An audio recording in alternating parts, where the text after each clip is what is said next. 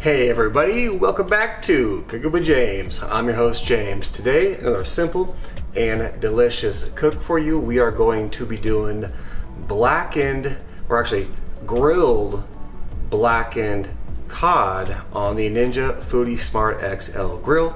Trying to get some great grill marks and who doesn't love some awesome blackened fish? This will actually work with uh, any fish, so it doesn't have to be just cod, but salmon, uh, halibut, uh, trout, whatever you like. Anyway, let's go ahead and get into the cook. All right, so here's what we got. We got some actually well fresh cod, but you know it's obviously from the store, but um, it was from the meat department. But anyway, now you can do this same recipe um, and cook it the same way with any type of fish. Uh, your salmon, your halibut, mahi mahi, uh, tune, whatever you want to cook, you can um, use this to do as a guideline. So anyway, uh, what we got is some cod, some nice, decent, thick pieces, pretty good looking. All right, now I just took them out. You don't rinse them off or anything. You just put them on the plate. First thing we're gonna do is go in um, with some avocado oil. So it's high heat oil is what it is. You can use vegetable or canola. What we're gonna do on the top side here, and make sure it's the top side, It's just a quick spritz. Just a slight coat on the top. And the reason why um, is because we're gonna get that grill on the Ninja Foodi super hot. All right, so we are doing blackened.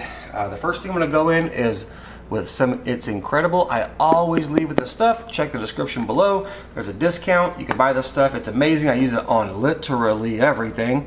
And we're just gonna go in with a little bit of that right across the top. Yeah, that smells delicious. And then we're gonna go in with our blackened seasoning. This is also Heaven Made product, so I'll leave it a, a, link in the description below. There's a discount code down there as well where you can get a discount, but we're gonna use this for the top. Oh yeah. This stuff is pretty dang good. I used it on actually some pork chops uh, the other night. I like the flavor. It's not spicy. Um, it's between a mild and a medium, so it's not even medium, it's between a mild and a medium. But uh, yeah, this is some good blackened seasoning. So anyway, um, we got them all seasoned up. As you can see here, looking and smelling good already, but I'm gonna flip these over and repeat that process. Then we're gonna go ahead and uh, preheat the Ninja. We'll see you in a minute. All right, so we are at the Ninja Foodi. Um, just to show you what we're using inside is we are going to be using the grill grate. Now obviously the drip pan is below it, but uh, so we got the grill grate in here and we're going to close this thing up. So what we're going to do, go ahead and turn this thing on. We're going to use the grill function down here. We're going to turn this thing up to max, press start, let it reheat, and then we'll get that fish on. See you in a minute. All right, so we are done preheating. As you can see, it says add food. We're gonna go ahead and open this thing up. Ooh, that thing is hot. All right, so we got our fish here. All right, now we oiled the top. I uh, just want to let you know, so we didn't oil the bottom. This is the bottom of the fish. So the top, the reason why we oiled that is because it's so hot, we don't want the fish to stick. So the top of the fish here, we're gonna lay down first. We're trying to get some grill marks on these. Now I'm gonna set, I'm, I'm gonna put these in, um, you know, a way that for grill marks that I want. You don't have to do this. You can just throw this fish in there any way you want. I'm just trying to achieve some grill marks. You know, I'm successful uh, with the grill marks, depending on what I'm cooking. Eh, about 75 to 80% of the time. So anyway, we got them down. They're all on there on the grate. That's awesome. So what we're gonna do is we're actually gonna close the top here. Now we're gonna, going to turn this off. All right, now we are going to turn it back on. We are going to use the bake function. We're going to go at 350. Um, we're going to set it for 20 minutes. It's not going to take 20 minutes. And what's going to happen, um, usually, so it's going to start acting like it's going to preheat. You see the little digits right here. This takes about 30 seconds maybe. Um, but I'll bring you right back and show you how to get past that in just a minute. Okay guys, um, we're back. It literally took about 15 seconds.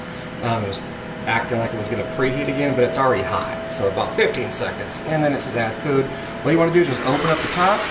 So these have only been in there for about 15 seconds. And then you just close the top and then it will resume to where you set it. We're at 350, we set it for 20 minutes. It is not gonna take 20 minutes, but stick around. We're gonna check it. We'll see you in a little bit. All right, guys, so we are 3210 at the 1230 mark. We are seven and a half minutes in. And so what we're gonna do now, what you want your fish to be at is between 140, 145. If it goes a little bit over, that's fine. But 135, oh, 144. 140, 148, that's good. I'll take it. 132, 144. 146. Uh, well, 149. Register that. Anyway, these fish are done. Seven minutes. Preheat, put them on. Now the question is, um, did we get any grill marks? I hope we got some grill marks over here. I love the beautiful grill marks. Let's see. Oh, we did. It's, well, it's flaky and falling apart. You, well, you know what I'm going to do? I'm going to give this a minute to cool down. I don't know if you can see. I can't grab that fish. It's flaky and falling apart. I'm going to bring it to the cutting board and show you what we got. We'll see you in a minute. Mm, those look awesome. All right, so this is what we ended up with. Here's a closer look. Um, absolutely perfect. Internal temperature, perfect. Let's see if it's flaky. Oh, oh yeah, it's super flaky. Just absolutely cooked perfect. Yum. Mmm. And the seasoning, oh, you've got to try the seasoning. Mmm, it's incredible. And the blacken, so good. Absolutely amazing. So don't go anywhere. Got something for you. Catch you up top. See you in a minute. All right, so we are finished with the cook and just one, just a close up. Let's see. Oh, I don't know if you can see the juices. It's because it's perfectly cooked. And we get you in there like, yeah.